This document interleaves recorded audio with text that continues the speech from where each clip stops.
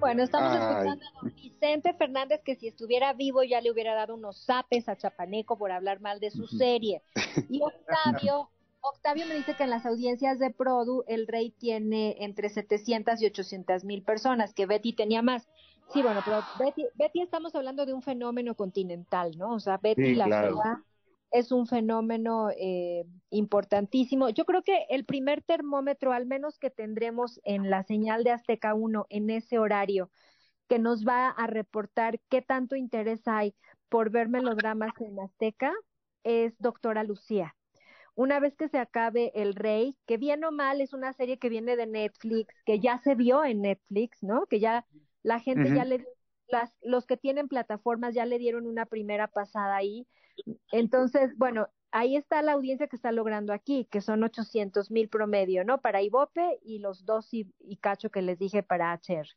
Pero bueno, cuando llegue doctora Lucía, que efectivamente es, es una telenovela serie, eh, en donde sí ya está hecha de forma inédita, especialmente para la señal de Azteca 1 y especialmente con el nuevo equipo de melodramas de Azteca, ahí sí vamos a ver qué tanto eh, es el interés de la gente y qué tan fuerte puede estar ese horario, ¿no? Porque Betty es un fenómeno, donde la pongas va a funcionar, en el 9, en el 1, en el 7, en Netflix, donde la pongas, Betty es un éxito. Joel, tú lo sabes porque eres fanático de Betty. Totalmente. Eh, sigue en número uno, dos, tres, probablemente de, de Prime, que es la plataforma que la tiene en este momento.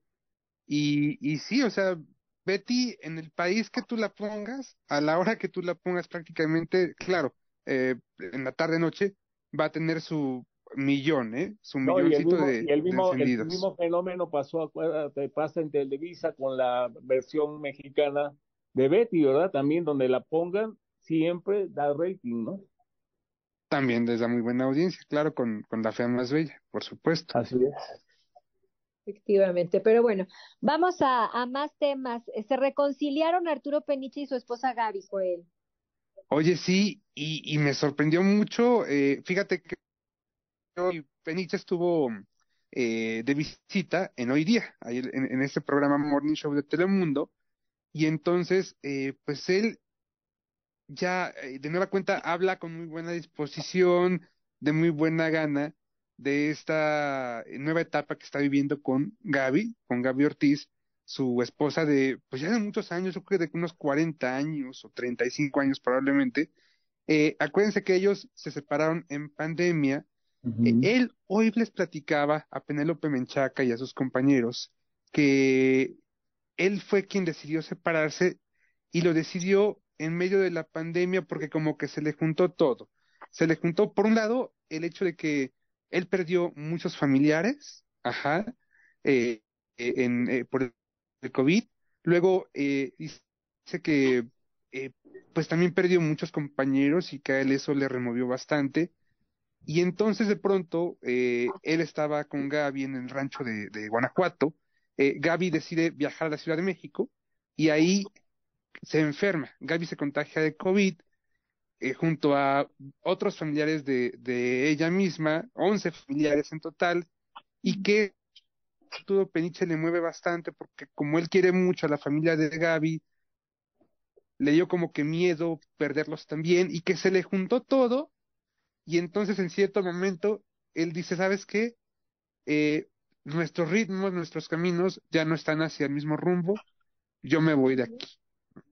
Y bueno, y que ahora eh, eh, en el reality, en Top Chef, eh, donde estuvo Peniche para Telemundo, de pronto un día le llevaron a Gaby, que cocinó muy bien con ella, que se la pasó muy bien eh, en ese espacio, digamos que equitativo de ambos, ajá, y que a partir de ahí como que se dio cuenta de que otra vez era ahí, ¿no? De que ese era su lugar y que están empezando a, a reconstruir su historia y a, a reinventarse como pareja. Eh, y bueno, pero sí lo noto mucho más tranquilo, mucho más centrado, mucho más en paz a, a Arturo Peniche y me dio mucho gusto, fíjate, por él. Qué bueno. Fíjate que yo le, yo les eh, escuché la entrevista que dieron un día antes en la mesa caliente, porque han estado haciendo tour, como estuvo en, Sí. en, en el programa de cocina Telemundo, han hecho tour. y utilizaron la palabra amigobios en esa entrevista. Ah, y mira. entonces explicaron que, que no, no es que no, no son novios, no son esposos, son amigobios. Y que es una relación como muy libre y muy abierta. O sea, si quieren eh, vivir juntos en la misma casa, viven. Si no, cada uno conserva su propio espacio y se dan su tiempo. Como que van y vienen y como que a veces solamente están juntos por lo que les eh, conviene como familia, como abuelos, en las reuniones. Y otras, sí, como pareja, eh, como matrimonio, como amantes.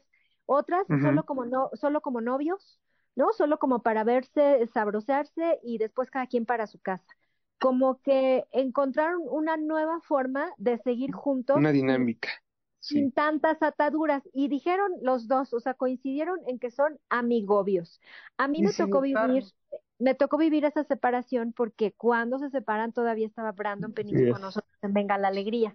Sí. Y una, y una cosa que siempre dijo Brandon, porque además él viene de una familia muy establecida, todos lo sabemos, ellos eran uno de los matrimonios Sí. más, más, más firmes del espectáculo, ¿no? Entonces, Brandon creció siempre viendo a papá y a mamá juntos y queriéndose. Entonces, cuando decidieron separarse, para él era como, ¿qué? ¿No? Si se adoran. ¿Qué- qué- o sea, ¿qué está pasando? Y entonces Brandon siempre dijo, mira, hay que darle su espacio, yo los respeto a los dos, eh, que, que vivan esta soledad, pero siempre él decía, van a volver porque se adoran. Sí. Él siempre Flor. como hijo los vio de nuevo juntos y mira, sucedió, dime. Y el, el divorcio no se ha consolidado como No. tal. No. No, no, nunca se divorciaron legalmente, solamente dejaron de gusto. vivir juntos. Ahora, me, llama la atención esto, eh, esto que tú él- nos cuentas, Flor, de la, perdón, Ajá. Chapa, de, de la postura que ayer tenían ellos dos, porque, por ejemplo, hoy en la mañana, sí Peniche se refería a Gaby como mi mujer, ¿no? Ajá, Que, sí. que le gusta mucho usar ese término, que de pronto ya no lo usaba y otra vez lo está empezando a usar. Entonces no sé si de pronto, eh, no sé hasta dónde lleguen los límites, ¿no? Em, o no sé si en realidad Ar- Arturo sí quiera o tenga más Sí. ganas de estar. No lo sé, no lo sé, pero, pero sí vi a Arturo muy contento hoy, ¿eh? que estaba a solas, sin Gaby, hablándoles de, de esta reconciliación. Me voy a ver muy Mario de la Reguera. O sea, A ver. pero a todo lo que da.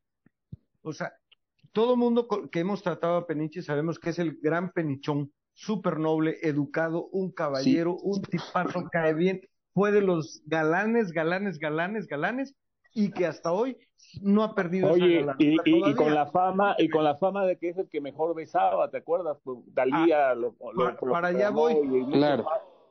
Para allá voy, Mario, que me voy a ver muy Mario de la Reguera. Y fíjate, si alguien me habló muy bien de él, y yo creo que desde el más allá le está echando la bendición para que su matrimonio perdure como amigobios, como lo que sea, es Irma Serrano la Tigresa, porque fue su novio a principios de los 80. Él era muy jovencito, obvio, para ella. Y me decía, es un tipazo. Ese actor es un tipazo, y es de los pocos que el público siempre respeta. Y dicho y hecho, Flo. Dicho y hecho. Y yo Porque creo además que él se ha dado su lugar.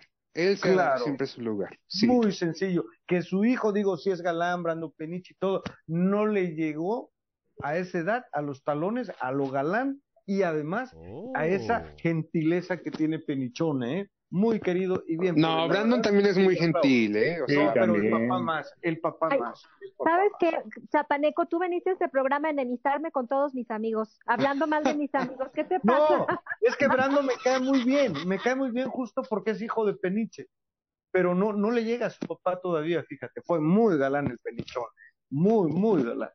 Brandon es galancísimo, galancísimo. Las chavas lo aman.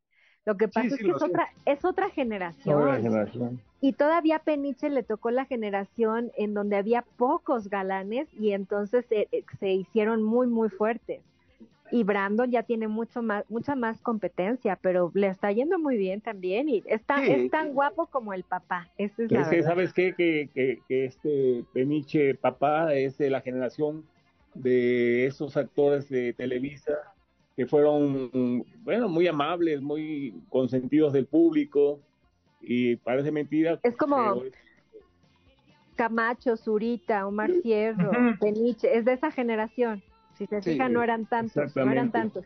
Vamos a la pausa, volvemos. En el jueves retro, Lupita D'Alessio con Mi corazón es un gitano, Mario, un clásico de la D'Alessio, Así ¿no? es, es de Nicola Divari, este ganó el Festival de San Remo esta canción y bueno, este también es el autor de como como las violetas, sin ti me quedaré, que, Mm. que, que fue éxito de Manuela Torres y en fin, Nicola Divari eh, a México hizo varias presentaciones en su momento que, de éxito y bueno, se re- le recuerda con afecto, ¿verdad? y cariño. Muy bien. Bueno, pues vamos a hacer un paréntesis en el programa. Vamos a hablar de una película que está, no sé si ya se estrenó o está por estrenarse, ya nos lo dirá nuestra invitada, pero por, eh, por Amazon Prime, y se llama El extraño caso del fantasma claustrofóbico.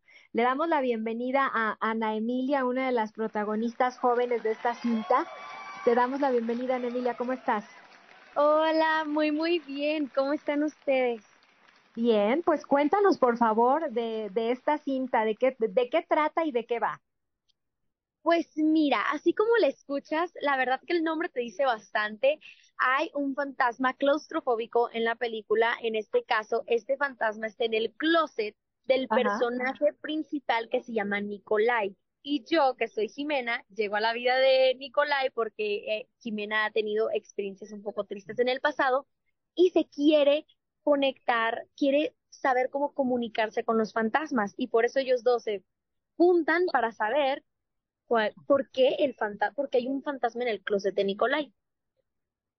Oye, de pronto este tipo de, este tipo de historias no nos, no nos iban muy bien eh, en producción nacionales, ¿no? Eh, cuéntame un poco de la manufactura del fantasma claustrofóbico. Pues mira, em, lo que dices es cierto. Yo, la verdad que en mi vida había visto que una película mexicana le apostara a esta generación, o sea, a las personas que tienen 16 años como yo, para arriba, para abajo, para toda la familia, y aparte que sea de fantasmas, o sea, ciencia ficción que requiere CGI, efectos Exacto. especiales. No, pues es una película de primer nivel. Yo digo que le hace mucha competencia hasta películas internacional, internacionales porque es excelente. Realmente creo que todos los mexicanos deberían de ver esta película para seguir apoyando el cine mexicano y que con esta se compruebe que hay mucho talento en México. Porque Oye, requiere Emilia, buena- efectos especiales, Exacto. requiere de muchas cosas a las cuales no estamos acostumbrados en cuanto a producción, Ana Emilia. Exacto, sí, tiene muchísimos, pues. Obviamente hay muchos fantasmas en la película y vuelan, o sea, hay muchísimos efectos especiales, que lo padre es que también se, com- se combinaron entre efectos que pudieron hacer en persona Ajá. y efectos en computadora, lo que hace que muchos se sientan muy reales. Justamente eso, Ana Emilia. Yo, yo me imagino, buenas tardes, soy Joel Farrilli, bienvenida. Me imagino, Ana Emilia, que eh, eh, filmar una película eh, con mucho efecto especial te requiere, por ejemplo, de muchas, eh, de, de filmar una escena muchas veces, supongo, por aquello de eh, los diferentes ángulos, los diferentes planos. Cuéntanos un poquito cómo es ese trabajo para ustedes como actores. Eh, me imagino que los trazos son demasiado específicos. Cuéntanos un poco, por favor. Claro, no, sí, es como volver a ser un niño chiquito, porque si el director te dice que ahí hay un fantasma o que el cielo en este momento es morado, el cielo es morado. Y sobre todo para mí, que esta es mi primer película, obviamente que fue un gran reto, porque no solo pues fue una película impresionante, sino que, pues como tú dices, consta de tantos efectos especiales. Y sí, o sea, están increíbles. Oye, participan también eh, actores pues muy reconocidos, ¿verdad? Cuéntanos. Pues participa Lucas Urquijo, que es el protagonista, que Sí. ahorita tiene muchas telenovelas aquí en Televisa. Yo, pues Emilia, Fausto Claro. Esquivel, em, Dominica Paleta. Sí, hay muchísimos actores de renombre en esta película y que hicieron sin duda un gran, gran papel. Y creo que lo más padre de esta película es que los, pues, los personajes principales son dos adolescentes y un niño, lo cual hace que estas generaciones se identifiquen con Emil, Nicolai y Jimena. Eh, ¿hace cuánto la grabaron, Jimena? Porque tienes 16 años, pues tenías 3 cuando la Bueno, hicieron. yo soy Ana Emilia, pero pues mi personaje Jimena Ajá. la grabamos como por mayo. del año pasado. Fueron dos meses en los que yo me vine a vivir a la Ciudad de México para grabar. ¿De dónde eres, Ana Emilia? Yo soy de Mazatlán. ¡Qué padre! Oye, pero con una vida por delante llena, llena de sueños, ¿no? Sí, y sobre lo de que vivo en Mazatlán, pues últimamente claro que me la vivo en la Ciudad de México. Yo creo que paso más tiempo aquí que allá. Y, pero yo feliz de que la vida me haya dado esta oportunidad de poder realmente luchar y seguir mis sueños. La película ya se estrenó en la plataforma. No, no, se estrena mañana, mañana. Hoy a las 12 de la noche. Yo estoy bien emocionada. Eh, para todas las personas que nos estén escuchando, pongan sus alarmas, preparen este viernes en familia, que, que se unan todos para celebrar este lanzamiento. Y sí, mañana, mañana. Se mañana une, se une con nosotros a la conversación el protagonista eh, Lucas Urquijo. Tienes apagado tu micrófono, Lucas. Te voy a agradecer. ¿Cómo estás, Lucas? Ya, ya platicamos con Ana Emilia de la película. ¿Tú cómo estás?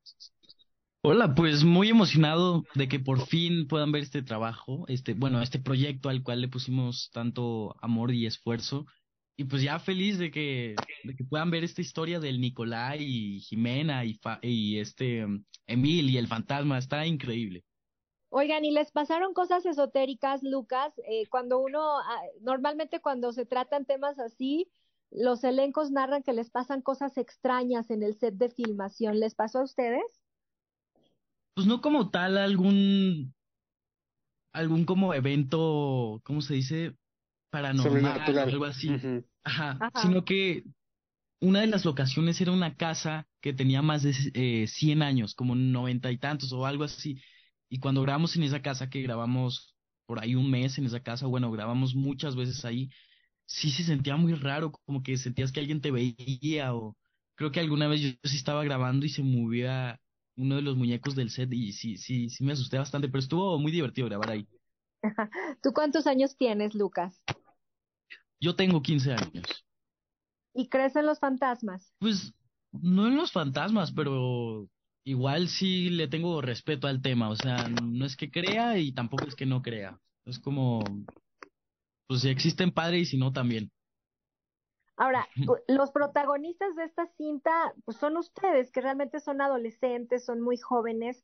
¿Para quién es recomendable la película? ¿Para la familia? ¿Para chavos como ustedes? Cuéntame un poco eso. Pues para toda la familia realmente. Sí, para todos.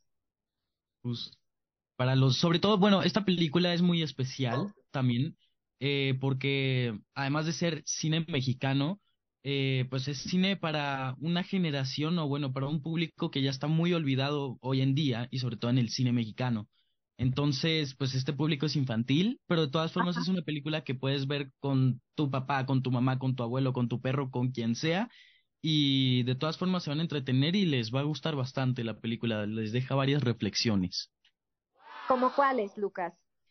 Bueno, habla sobre el primer amor, habla sobre uno de los temas principales es el terremoto del 85, que no quiero dar muchos spoilers, pero eh, pues la historia tiene mucho que ver con pues con ese evento, con ese suceso eh, del 85 y qué más.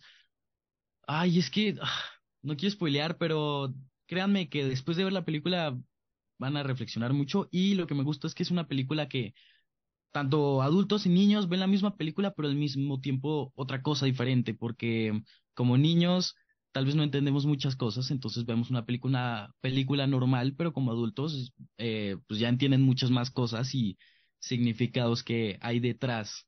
Entonces... ¿Quién, nos estuvo dirigiendo, Lucas? Nos estuvo dirigiendo Alejandro eh, o Zurich, no, no, no sé cómo se dice su apellido, pero sí, el, el director es Alejandro, que de hecho también produjo, él también escribió, él también fue parte de la postproducción, o sea, él editó, hizo, hizo todo, Ale. Y yo quiero agregar otro dato, quiero agregar otro dato, que Alejandro Zubich es el director de la película Casi 30, que es la que protagoniza Eisa González y que fue la única que hizo en México. Ok, es el mismo productor. Pues inviten a la gente, Ana Emilia, al, al estreno esta medianoche. Pues que no se pueden perder el fantasma claustrofóbico. Es una locura que ya se estrene hoy. ¿Y qué quieres decirles tú, Lucas?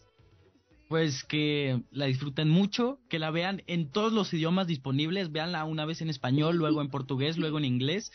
Y nada, pues disfrútenla mucho, el fantasma claustrofóbico por Amazon Prime a partir del 25 de agosto. Pues les agradezco mucho a los dos, gracias a Ana Emilia y a Lucas Urquijo. Ahí estaremos, por supuesto, dándoles la patadita de la buena suerte. Gracias a los dos, nos muchas, vamos. Muchas, gracias, suerte. Gracias. Bye. Gracias. Bye, bye. Bye, bye. Bueno, ya estamos de regreso, Mario, que estamos escuchando. No está Mario, Vamos a así que tú. Estíbaliz. ¿Dónde andas, Mario? Aquí estoy. Con Sergio y escuchando. Sergio te digo, que es de los que cantan, son Sergio y Estíbaliz, que ellos eh, per- pertenecían a Mocedades, ¿no? Y, y, y- y creo que volvieron, ahorita viene de vuelta eh, en la gira, este, integrados de vuelta, ¿no? Sobre todo ella. Viene en la gira del nuevo Mocedades. Sí, exactamente. Ah, muy bien.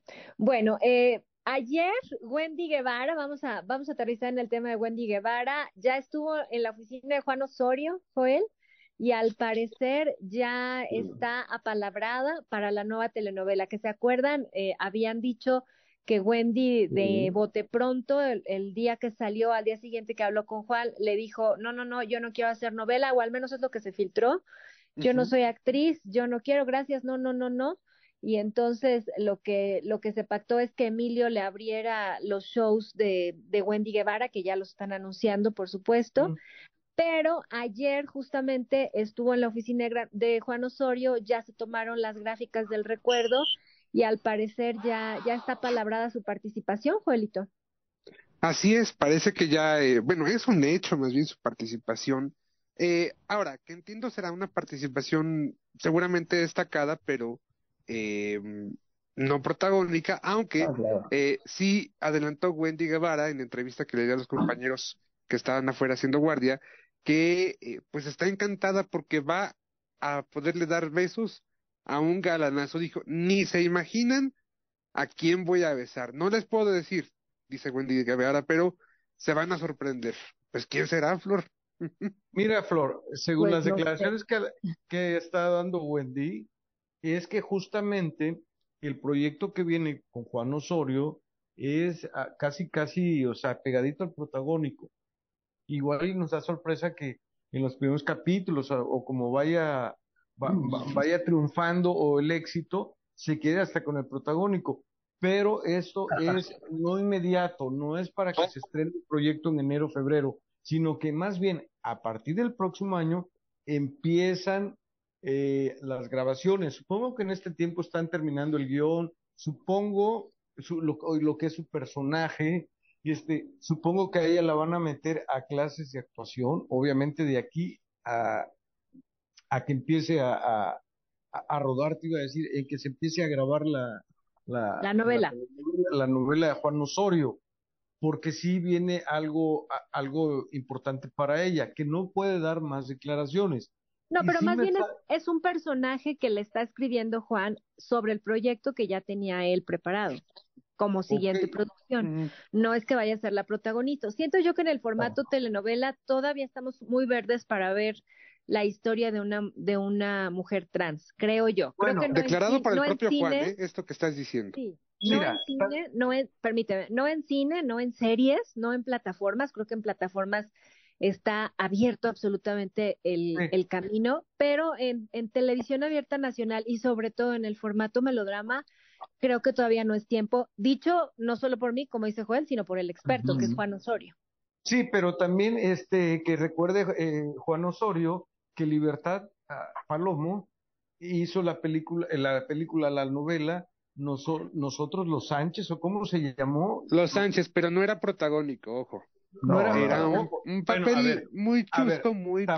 Wendy, sí, tampoco Wendy, ahorita me está diciendo que no va a ser la protagónica, pero te No. acuerdas Sí, que no. Libertad se adelantó hace como 15 años y en TV Azteca.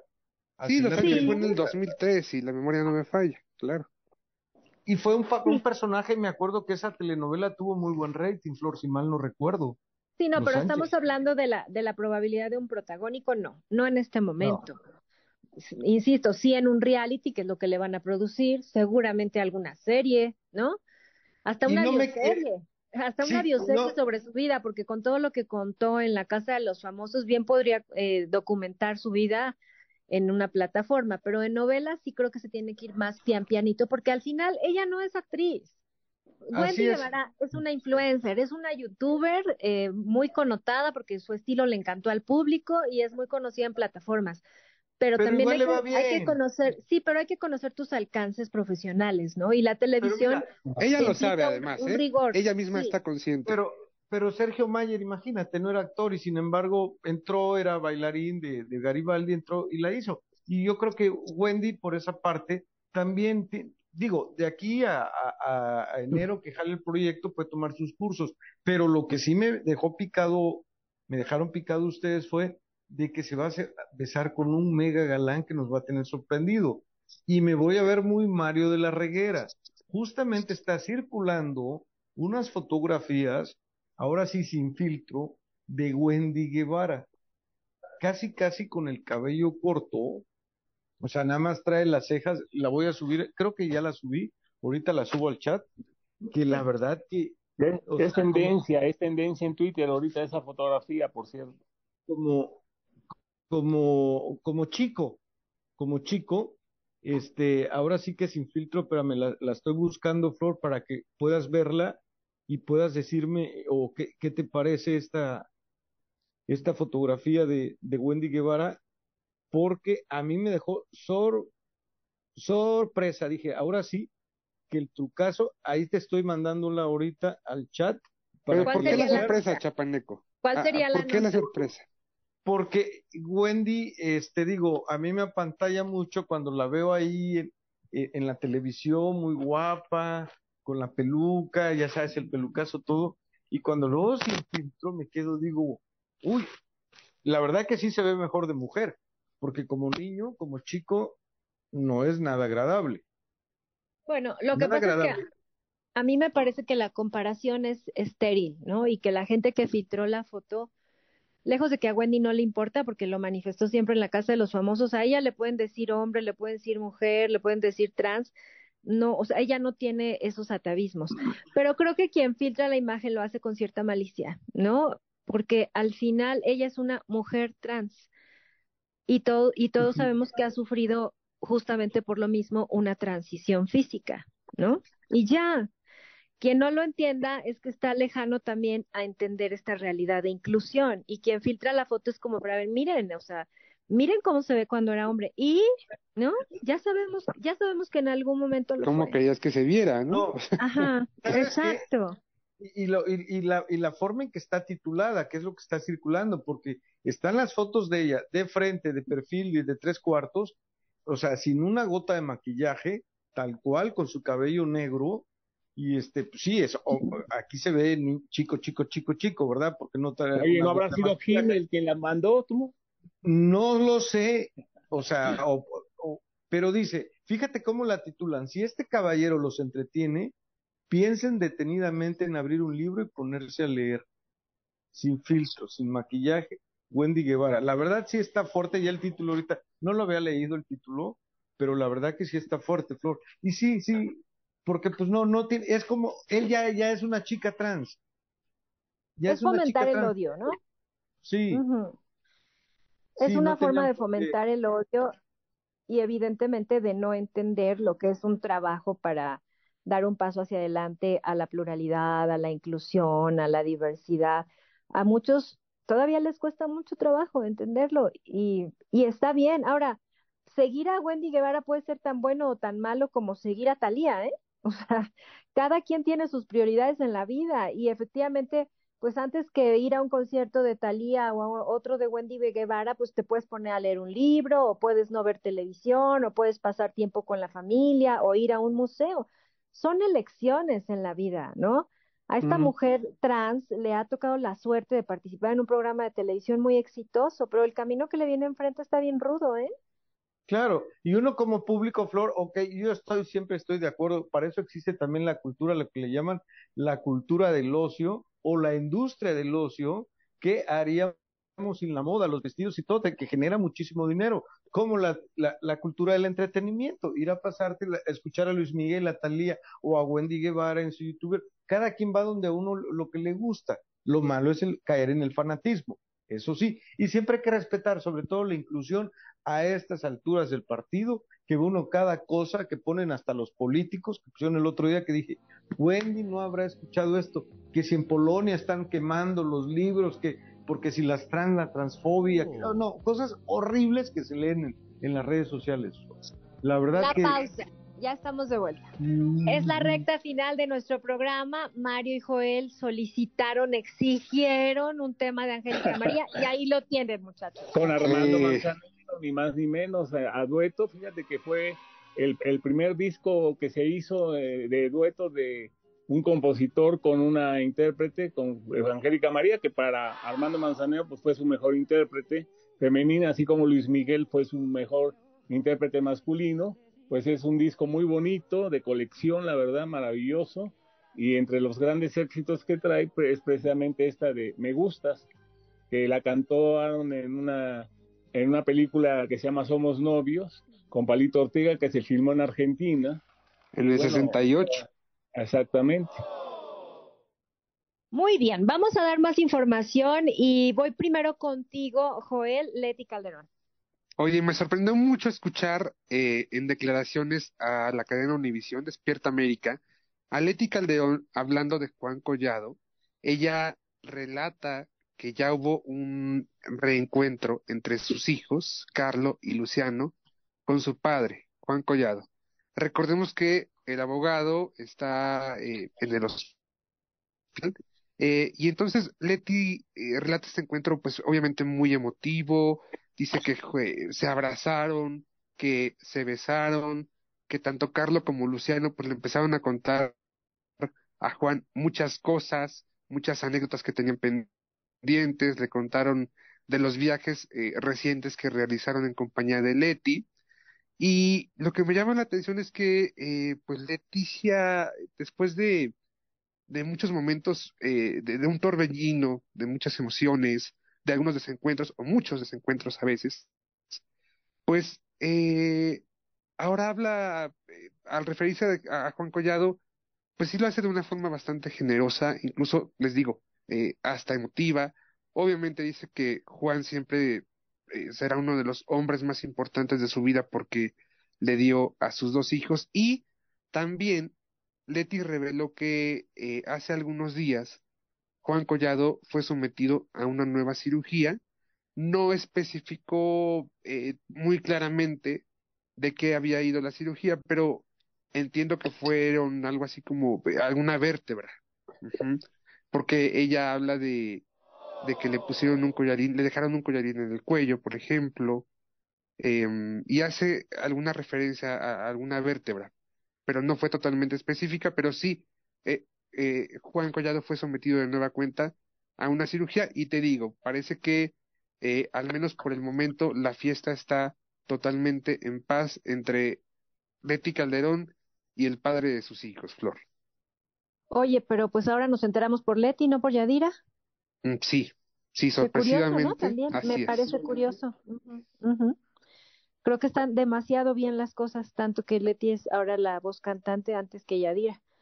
Así que se van a descomponer pronto, te lo, te lo, te lo vaticino, ¿eh? Pero bueno, eh, bueno. tenemos noticias, Mario, de la obra de teatro de Juan Torres. Pues sí, fíjate, hubo precisamente hoy conferencia de prensa donde se comentó de que va a haber una función especial de Lucero Mijares, pues ya este, sin el carrito que llevaba, eh, como una especie de patín de diablo, pues donde el día del estreno, pues mucha gente no pudo ver eh, cómo si bailaba o no bailaba, y, en fin, más que lo de su voz, o sea que ahorita ya va a estar al 100%, entonces pues pronto vamos a ver una función especial de Luceritos, claro, Lucerito Mijares, la otra es Lucerito, Lucero Gaza, entonces, pues va a estar muy, este, pues yo creo que va a tener todavía más, más público que, que, el estreno, ¿no? Porque va a haber mucha expectación para ver a Lucerito Mijares en esta hora. Así que, Chapaneco, quizá te toque a ti verla, eh, que tanto la admiras. Pues, brincando. ahora sí que te brincando. Porque ella brinca, ¿eh? bailando. Sí, Ella normalmente No, brinca que no brinque todavía, que se cuide. Pero no le No, ahorita, conviene pues, no. brincar. No le conviene brincar. No, pero que no, no, pero su papel no, ha- no es de mucho brinco, ¿eh? Tampoco, ¿eh? Así que digas, va, va a andar brincando de un lado para otro, no, pero pues sí, dos que tres pasitos. Creo que tú, Flor, sí la viste, ¿verdad? A- al 100% antes de que se estrenara en un preestreno. Es que yo la vi el día que ya se había lastimado el pie, haz de cuenta, Ah, ya se había, ya se había lastimado el tobillo, ya estaba vendada, pero Ajá. todavía hizo la función, entre comillas, Tú la porque viste minutos después, Flor, prácticamente de que se lastima el pie. ella, ella intenta hacer la función normal, yo sí noté que se, se apartaba cuando eran las coreografías de grupo, con algunas, Ajá. como que se quedaba atrás e intentaba hacer los pasos. Pero no, como no sabía bien a bien qué estaba pasando, yo dije, ¿qué está pasando? ¿No? No se sabe bien la coreografía o no la ponen a bailar mucho, ¿no? Porque al final ella es mucho más cantante que bailarina. Así Ella, es. su fuerte, el fuerte de Lucerito Mijares es cantar más que bailar, pero ya estaba lastimada. Entonces sí me parece que está- recibí yo también mensaje de Juan Torres hace un ratito que, que vayamos. Es el próximo lunes 28 de agosto, la Ajá. función. La función especial va a ser el lunes. Entonces, pues obviamente él tiene toda la ilusión porque aquí sí ya está totalmente recuperada y sí requiere de mucho movimiento escénico, sobre todo. Tiene una, tiene una banda giratoria, el, el escenario, por donde se mueve mucho la protagonista, que en este caso es Dorothy. Y además las coreografías y algunos bailes que no son difíciles, pero que sí requieren de mucho movimiento escénico, Mario. O sea, no, no es Así es. Bianca Sí, Martínez yo, yo, yo, yo ya la vi, pero la vi, la vi sin, o sea, más que en la patineta, pero Ajá. pues ahora sí que bailando y todo, pues hasta mucho mejor, ¿no? La va uno a disfrutar más. Y de por sí yo la disfruté mucho, eh, así con la patineta, pues ahora al 100, pues yo creo que la, la voy a, a disfrutar al 200, ¿no? Totalmente. Zapaneco, Galilea. Galilea Montijo, ahora sí, ya no hay duda, ya no puede decir que no, ya fue captada Galilea Montijo de 50 años con su novio español Isaac Moreno de 41 años, nueve años más joven que ella, y bueno, ya fueron captados allá en la Riviera Maya, Flor, y ahí sí Galilea aparece en bikini, él en, en una super tanguita, pero ella como diosa arrodillada ante ese hombrote que la verdad que la trae enloquecida. Bravo por ella, porque la vida debe continuar, está joven, económicamente tiene la vida hecha, es independiente, muy trabajadora, le va muy bien, diga lo que diga Niurka, pero es una mujer exitosa. Y pues bueno, Flor, me Oye. queda claro, me queda claro que eh, cuando anunció su divorcio en marzo, que estaba llorando, que bla, bla, bla, blu, blu, blu, pues yo creo que era como una partecita ya lo la última lagrimita, ¿verdad? Porque al mes ya se le estaba involucrando con Isaac, eh, con Isaac Moreno, y luego ella ni decía ni que sí, que, ni que no, pero ahorita está más claro que el agua que sí ya andaba desde hace tiempo con él, Flor. Es que yo se los dije siempre, cuando, Lu- cuando Galilea dio a conocer su divorcio, eso ya estaba más que concluido. Ella viene Sí. con un proceso desde el año pasado. Entonces, sí, sí, yo creo que ella ya tenía una relación, pero porque ella, ah, ella se equivocó al no decirlo en tiempo. Ella habló de su divorcio mucho después de que ya realmente se había concretado, como que tardó en decirlo públicamente. Por eso ¿cuántos ahora parece que está muy. Cuántos años dices que es más chico Rodrigo que ella, perdón, Chapaneco? Eh, Isaac, Isaac Moreno, Mario. ah, Isaac, pensé que nueve años. Rodrigo. porque tiene Ujú. 41. Y quien piense que si va a ser Ah. el chulo, que va a andar con Galilea, tampoco lo creo porque él es, eh, tiene estudios de contabilidad, tiene especialidad en ingeniería estructural, o sea, hace como que planos y estudios de antisísmicos. Él es español Ujú. de, la, de las Canarias, o sea, ya tiene, no sé, creo que, creo que tiene un hijo de cinco años, algo así. Pero pues la verdad él es muy galán y Galilea ahorita se da el lujo de andar con alguien que tenga más dinero que ella o que igual no tenga nada. Que ella le diga, órale, mi chulo, vengas para acá, la que, la No. que manda soy yo y también se vale. Y también se vale. Oigan, de última hora quiero decirles que ya levantó la denuncia Miguel Bosé. Lo habíamos estado esperando desde el lunes que supimos la información del atraco Ajá. a su casa y ya eh, presentó por fin su denuncia frente a la fiscalía. Creo que, que con eso vamos a estar Con eso vamos a cerrar el programa. Sí, sí lo estábamos esperando porque se han dicho muchísimas cosas al respecto, que si tenía miedo, que si había algún problema de amenazas, que si la casa era de Inés Gómez de muchas, muchas barbaridades que se dijeron. Pero bueno, supongo que estaba tomando su tiempo para, para levantar esta denuncia. Pero puede tener fiscalía... que no tenga Miguel Bosé, que es bueno que ya levantó la denuncia, ¿eh? Les leo rápido. La Fiscalía General de Justicia informa que eh, en seguimiento a una carpeta de investigación iniciada por el delito de robo a casa habitación, ta, ta, ta, ta, ta, ta, ta, recibió la denuncia formal de un cantante extranjero y su representante legal. El afectado manifestó en entrevista ante la agente del Ministerio Público que el hurto ocurrió y bueno, ya da todos los detalles. Ya no me da tiempo de leerla completa, pero ya está levantada la denuncia. Gracias, Mario. Nos vemos, qué gusto estar con ustedes. Bye bye. Gracias, Chapaneco. Besos, mi querida Flor. Nos vemos en breve. Joel. Hasta mañana. Hasta mañana. Gracias al ingeniero Iván y a Laura Reyes en la cabina.